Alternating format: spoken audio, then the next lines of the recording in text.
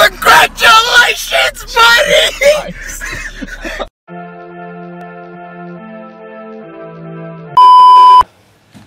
Oh yeah, this is, this is the dream right here.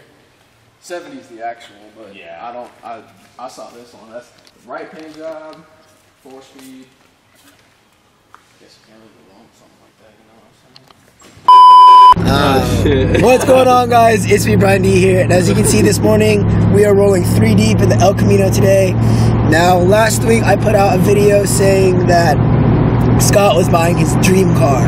In that video, you guys saw him looking at a 1971 Chevelle, but it didn't really work out for him. But today, um, we are looking at another Chevelle. Now, this one is a 1970, and it's a it's a true SS, right, Scott? Yeah. It's a true SS. So this is this practically has everything Scott wants, technically.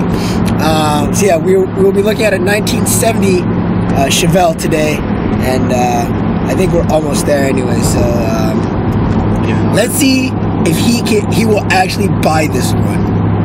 Shoulders are sort What? our shoulders What about our shoulders? sort of like rubbing. They're rubbing. It's okay. Also, we are going to make a new purchase on this El Camino for two dollars. Two dollars. Oh, you oh, yeah, heard that right? yeah, yeah. Scott Scott's selling us the El Camino for two dollars.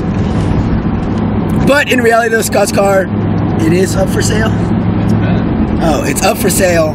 So DM me or DM him on Instagram at it's me Bryan D or at Scott Olvera or comment in the comment section below uh, if you are interested. So here it is. Red and black 1970 uh, Chevelle. I need to stop mixing those up. And I think to myself, what a wonderful world.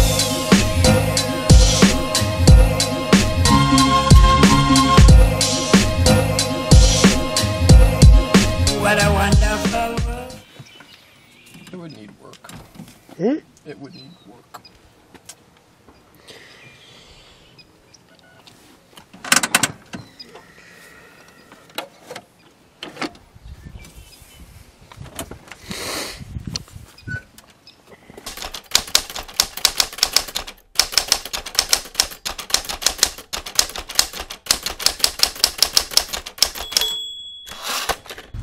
There it is.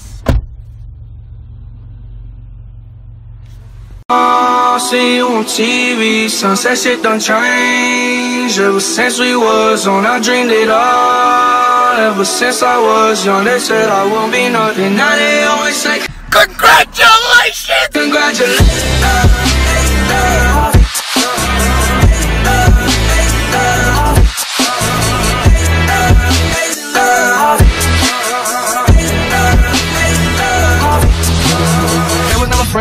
Yeah. Now I'm jumping out of Bentley, yeah. And I know it's not dramatic, yeah. But I know I had to have it, yeah. For the money, I'm savage, yeah. I be itching like I had it, yeah. I'm so running 20 bad, bitch, yeah. But they didn't let me last year, yeah. Everyone wanna have nothing important, yeah. They don't let me know that when I'm from a